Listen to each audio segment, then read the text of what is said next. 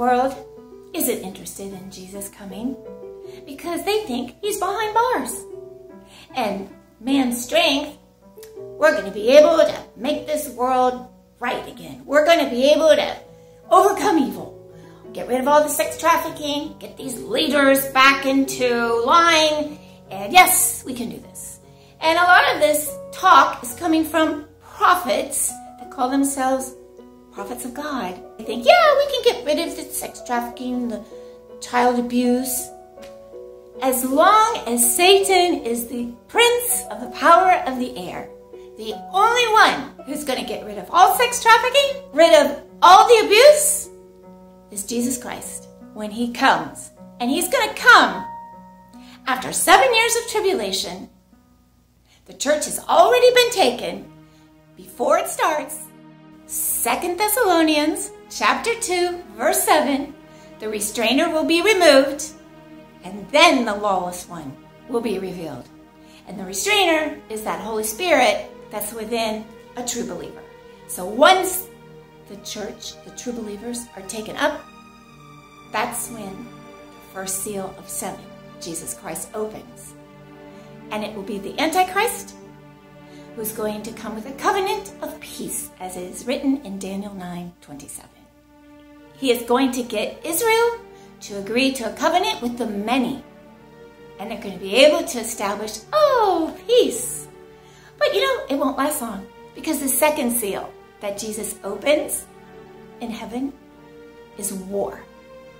And then the third seal that Jesus opens is famine, which is a logical order of events.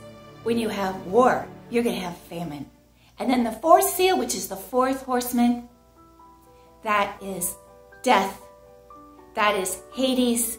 There's going to be a fourth of the population that will be killed.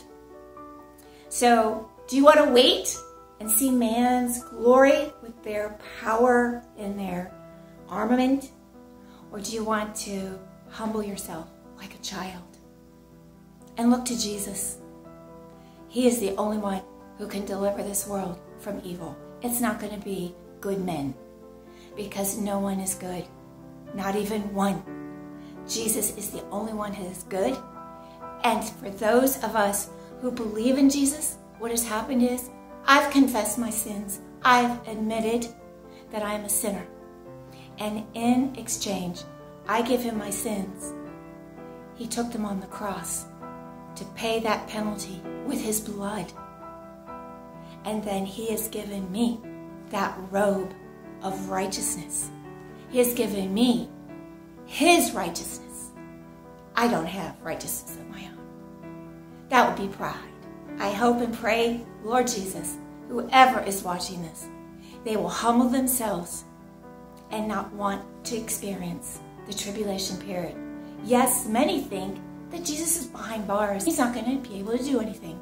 Well, for seven years, it will seem like that, but it's actually God's wrath and it will be a time of great conversions because in Revelation 7, there is a countless multitude of people who turn to Christ during the tribulation period and they will be martyred as saints. Do not be deceived. Come to Christ today.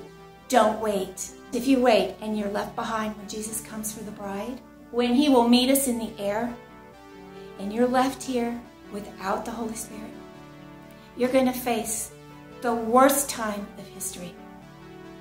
You're going to face worse than any nuclear attack you're afraid of now. So come to Jesus, receive Him into your heart, pray a prayer that's simple but from your heart, saying, I want you, Jesus Christ, to be my Lord and Savior. I want you to turn me into the person you want me to be and let me walk with you. Help me to walk with you. Help me to overcome sin in my life. Help me to forgive all who have hurt me. And Lord, I give you permission to change my mind on anything so that I see what you see and I think the way you think. And please take me. I want to escape the wrath that's coming. I hope and pray as many people when I think of my own family that they will not be left behind. They will want to know Jesus Christ as their God, Lord, and Savior.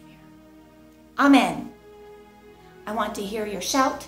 I want to hear your voice of the archangel, and I want to hear the trumpet of God so that I am taken and will meet those from 6,000 years of all these people who have passed away in Christ or in faith in that coming Christ, those in the Old Testament. They will all be taken and we will meet them in the air. That is a promise that Jesus Christ gave.